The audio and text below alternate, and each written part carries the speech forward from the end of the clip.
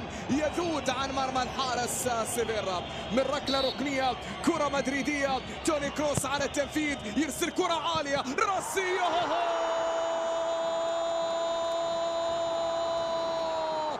أنا ما أقول هذه